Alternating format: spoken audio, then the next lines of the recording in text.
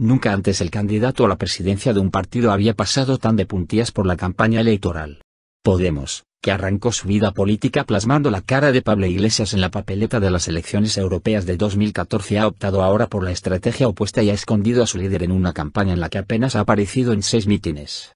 Se ha concentrado en las apariciones en televisión, pero estas tampoco han sido superiores a las que han mantenido sus tres principales rivales en campaña.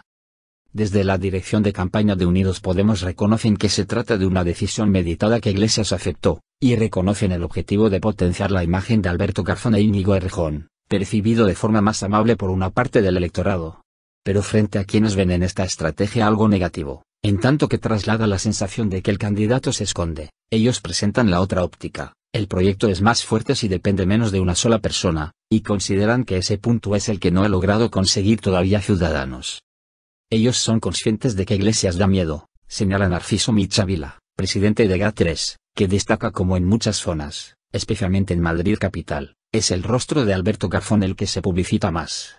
La calle es de Alberto y el plató de televisión es de Pablo, resume. Michavila destaca que Garzón está mucho mejor valorado, y que pese a representar a una fuerza muy escorada tiene estoque amable que Iglesias no logra proyectar.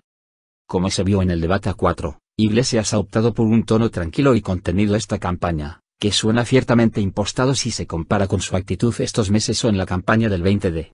Pablo Iglesias tiene muy mala valoración, recuerda Micha Vila, que explica el contrapeso de Errejón en que el partido intenta plasmar que cuanto menos se visualice que las riendas las tiene Iglesias, mejor. Iván Redondo, consultor político de Redondoet Asociados, define la estrategia del líder de Unidos Podemos como una campaña de contención. Su análisis dibuja a dos Pablo Iglesias, el león y el león enjaulado, su potencialidad es tan grande que a veces no la controla. Tiene que tener mucho cuidado porque un Pablo en su potencialidad podría dar mucho miedo. Redondo destaca que la sobreexposición ha provocado mucho desgaste en la imagen de Iglesias y que en Podemos son conscientes de que necesitan reposicionarle para que se convierta en un Pablo presidente que ahora no existe. Él gobierna la escena, el relato, pero no le veo en esa madurez de construir gobierno, indica Redondo considera que la decisión de Unidos Podemos ha sido acertada porque la campaña está girando efectivamente sobre ellos. Y que en ese contexto había que minimizar los riesgos que corrían con Iglesias al que sus rivales le van a buscar la boca, resume llanamente. Él se ve gobernando la escena muy por encima del resto, y eso puede ser un error, que cree que un Pablo Iglesias como el de la campaña del 20 de habría tenido muchos problemas. El remedio a todos lo encuentran los populistas en Íñigo Errejón. Maquiavelo nos habla del león y el zorro, lo segundo sería el número 2 de la formación, capaz de sostener una campaña en la que su líder ha estado a medio gas, Alfonso Guerra llenaba como llena Íñigo Errejón. Su modelo de partido es el PSOE de los 80. Están promocionando su propio clan de la tortilla, indica antes de recordar a figuras con mucho tirón mediático como Echenique, Oltra o Colau. Pero volviendo al papel de Errejón, Redondo lo define como el soft power, capaz de construir un discurso más racional, que se permite en sus mítines apelar no solo a gente que ha votado al PSOE, sino también al PP. Por eso él plantea temas como el pacto intergeneracional.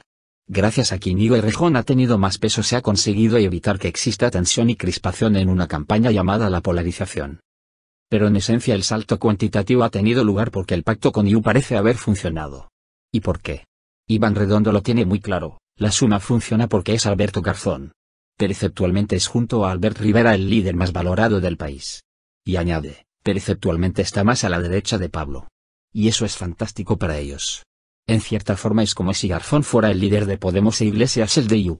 Con otro liderazgo IU probablemente no habría habido ese efecto multiplicador. También cree que ha sido un acierto limitar el papel de Iglesias Pablo Simón, profesor de la Universidad Carlos I de Madrid, en la medida en que tienes un líder divisivo que sabes que resulta antipático con lo que el objetivo es desdibujar su figura. Simón explica que el objetivo ha sido presentar una campaña más coral y que en eso está siendo fundamental Errejón, que cae mejor que Pablo Iglesias desde un punto de vista transversal. Considera que a Iglesias los suyos sí que le quieren. Pero en el campo de la izquierda. Por todo ello cree Simón que en lo que respecta al líder tiene sentido que se limite su exposición, y cree que la marca Unidos Podemos tira más que Pablo Iglesias. El también editor de Politicon recuerda que Iglesias ha sufrido un proceso de exposición mediática tremenda y cometido muchos errores. Ha cruzado un punto de no retorno, asegura. Y ve en las negociaciones de estos meses un comportamiento que ha desgastado su imagen. Esa actitud que ha sido tildada como arrogante, egocéntrica o engreída se explica según Simón en algo ciclotímico. Un día poli bueno y al siguiente poli malo. Si yo me hubiera cargado el sistema de partidos también estaría subidito, ironiza. En resumen. Iglesias da miedo, su ejercicio de moderación resulta impostado. Su valoración es muy negativa. Pero su partido sigue creciendo. ¿Por qué? Ha desarrollado una identidad partidista en la que el líder ahora tiene menos peso, resume Simón, que piensa que su reto ahora es estabilizar una organización tan heterogénea. La comparación con su rival en el campo de la nueva política es necesaria, y Simón cree que la conclusión es clara, Ciudadanos es más deudor de Albert Rivera. En cierto modo sigue siendo una plataforma electoral en torno a un candidato. Y eso los hace más vulnerables. Según el CIS postelectoral del 20 de un 14% de los votantes de Podemos votaron por Iglesias, mientras que un 25,7% lo hace por Rivera, lo que pone de manifiesto que Podemos es ya un fenómeno más coral y poliédrico,